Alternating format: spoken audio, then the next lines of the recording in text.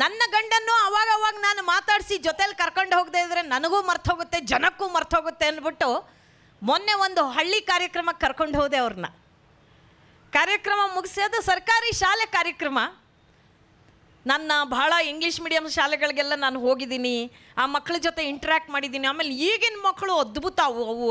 ಅದೇನು ಭಗವಂತ ಯಾವ ಇದು ಹಾಕಿದಾನೋ ಗೊತ್ತಿಲ್ಲ ಅವಕ್ಕೆ ಏನು ಸ್ಮಾರ್ಟ್ ಅಂದರೆ ಸ್ಮಾರ್ಟ್ ಫೋನ್ಗಳೆಲ್ಲ ಎಲ್ಲ ಸ್ಮಾರ್ಟ್ ಮಕ್ಕಳೇ ಇವಾಗ. ದಡ್ಡ ಮಕ್ಕಳನ್ನ ನೋಡೋಕ್ಕೆ ಸಾಧ್ಯ ಇಲ್ಲ. ನಾವೆಲ್ಲ ಓದುವಾಗ ಮೂವತ್ತೈದು ತಗೊಳ್ಳೋದು ಭಾಳ ದೊಡ್ಡ ವಿಷಯ. ಒಪ್ಪಿ ತಪ್ಪಿ ಐವತ್ತು, ಐವತ್ತೈದು ಬಂದ್ಬಿಟ್ರು. ಅಯ್ಯೋ, ಐವತ್ತೈದು ಬೈತು ಅಂತ ಪಾಯಸ ಮಾಡೋ ಅಂಥ ಸಂದರ್ಭ ಮನೆಯಲ್ಲಿ. ಈಗಿನ ಮಕ್ಕಳು ತೊಂಬತ್ತು, ತೊಂಬತ್ತೈದು, ತೊಂಬತ್ತೊಂಬತ್ತು. ನೂರಕ್ಕೆ ತೊಂಬತ್ತೊಂಬತ್ತು ಬಂದರೂ ಇನ್ನೂ ಖುಷಿ ಕಡಿಮೆ ಆಗಿಲ್ಲ. ನಮ್ಮ ಮಕ್ಳಿಗೆ ಖುಷಿ ಇರಲ್ಲ. ಮೊನ್ನೆ ನಾನು, ಅಂದರೆ ಈಗ ಹದಿನಾ ಹತ್ತು ಹನ್ನೆರಡು ವರ್ಷದ ಕೆಳಗೆ ನಾನು ಲೆಕ್ಚರರ್ ಆಗಿದ್ದೆ. ಆ ಅನುಭವದಲ್ಲಿ ನನಗೆ ಸ್ಟೂಡೆಂಟ್ಸ್ ಜೊತೆಗೆ ಭಾಳ ಒಳ್ಳೆ ರ್ಯಾಪೋ ಇದೆ. ನಮ್ಮ ಮನೆ ಅಕ್ಕಪಕ್ಕ ಇರೋ ಎಲ್ಲ ಕಾಲೇಜ್ ಹುಡುಗ ಹುಡುಗಿರನ್ನ ನಾನು ಫ್ರೆಂಡ್ ಮಾಡ್ಕೊಂಡು ಮಾತಾಡಿಸ್ತಿರ್ತೀನಿ. ರಿಸಲ್ಟ್ ಬಂತು. ಆ ಕಡೆ ಮನೆ ಹುಡುಗಿನ ಕೇಳಿದೆ, ಏ ಪುಟ, ಏನಾಯ್ತು ನಿನ್ನ ರಿಸಲ್ಟು ಅವಳು ಹಳ್ಳಿಯಿಂದ ಬಂದು ದೊಡ್ಡಪ್ಪನ ಮನೇಲಿ ಓದ್ತಾ ಇದ್ಲು. ಅಯ್ಯೋ ಆಂಟಿ, ಅವ್ನು ಯಾವನ್ ವ್ಯಾಲ್ಯೂಯೇಷನ್ ಮಾಡಿದ್ನ ಅವ್ನ ಕೈ ಕರಿನಾಗರ ಕಚ್ಚ ಅಂದ್ಲು.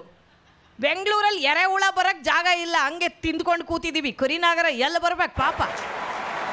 ಅವನಿಗೆ ಆಪತ್ ಕಾಲದಲ್ಲಿ ಚಾಟ್ವೆ ಸುತ್ಕೊಂಡು ಹೋಗ ಅಂದ್ಲು. ಅಯ್ಯೋ ಯಾಕೆ ಪುಣ್ಯಾತ್ಗೀತಿ ಹಿಂಗೆ ಬೈತೀಯ ಅಂದ್ರೆ, ಆಂಟಿ, ಅವನು ಹೆಂಗೆ ವ್ಯಾಲ್ಯೂಯೇಷನ್ ಮಾಡಿದ್ರು ನನಗೆ ನೈಂಟಿ ಏಯ್ಟ್ ಬರಬೇಕು. ಬಡ್ಡಿ ಮಗ ನನಗೆ ನೈಂಟಿ ಸಿಕ್ಸ್ ಕೊಟ್ಟಿದ್ದಾನೆ ಅಂತಾಳೆ. ತೊಂಬತ್ತಾರು ಬಂದಿದೆ ವ್ಯಾಲ್ಯೂಯೇಷನ್ ಮಾಡಿದವನಿಗೆ ಚಾಪೆ ಸುತ್ತಿ ಬೆ ಬೆಂಡೆತ್ತುತ್ತಾ ಇದ್ದಾಳೆ ಇವಳು. ನನಗೆ ಇವಳ ಬಗ್ಗೆ ಯೋಚನೆ ಆಗಲೇ ಇಲ್ಲ ರೀ. ಒಬ್ಬ ಟೀಚರ್ ಯಾವಾಗಲೂ ದಡ್ಡ ಮಕ್ಕಳ ಮೇಲೆ ಪ್ರೀತಿ ಜಾಸ್ತಿ. ತಾಯಿಗೂ ಅಷ್ಟೇ ನೋಡಿ, ಯಾವ ಮಗು ಸ್ವಲ್ಪ ವೀಕ್ ಆಗಿರುತ್ತೋ ಆ ಮಗು ಮೇಲೆ ಪ್ರೀತಿ ಜಾಸ್ತಿ. ಹಾಗೆ ನಾನು. ಹಿಂದ್ಗಡೆ ರೋಡಲ್ಲಿದ್ದಾನೆ ಹುಡುಗ.